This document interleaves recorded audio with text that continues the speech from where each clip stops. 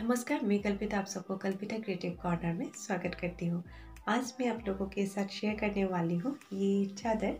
ये चादर मैंने हैंड प्रिंट किया है, आप लोग वीडियो को देखिए। अगर अच्छा लगा तो एक लाइक और शेयर भी कीजिए दूसरों के साथ। और अगर आप मेरे चैनल पर नए हो तो ज़रूर सब्सक्राइब कर लीजिए, क्योंकि लास्ट में आप लोगों का फीडबैक दीजिए। ठीक है, चलिए देखते हैं अभी। फैब्रिक पेंटिंग करने से पहले मैंने ये चादर को अच्छे से धो लिया। ये चादर में मैंने एक लेस भी लगा लिया।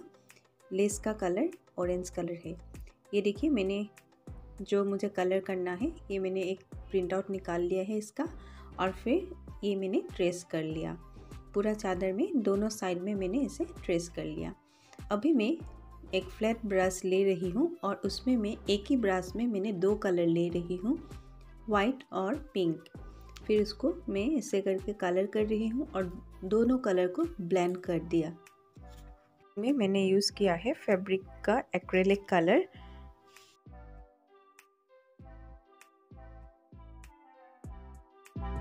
चादर में मैंने कहीं पे भी पानी यूज़ नहीं किया है क्योंकि ये मेरा कपड़ा कॉटन का नहीं है और ये स्प्रेड हो जाने का ज़्यादा चांस रहता है। इसके लिए मैंने जहाँ ज़रूरत पड़ा मैंने मीडियम ही यूज़ किया मीडियम वन।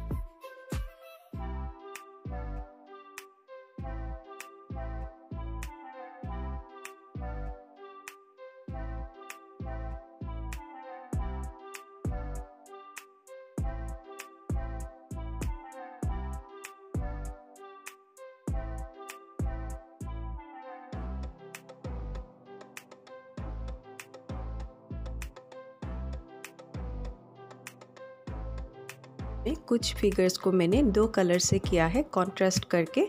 इसमें मैंने देखिए, अभी रेड कलर कर रही हूँ और रेड के साथ में कॉन्ट्रास्ट में कलर करूँगी ब्लू पूरे मेखला चादर में मैंने अलग अलग फिगर्स को अलग अलग कलर करने के लिए ट्राई किया है।